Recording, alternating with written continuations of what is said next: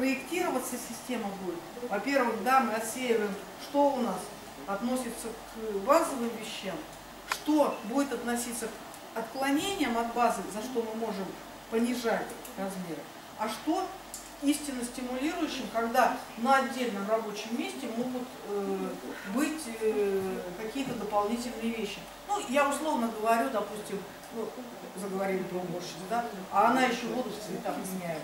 Видит, букеты стоят, некоторые дамы стоят. Ну, я условно говорю. И это стимулирует сотрудника. Хотя это не входит в ее должностные обязанности прямые вот написано. Ну, я утрирую. Нет, я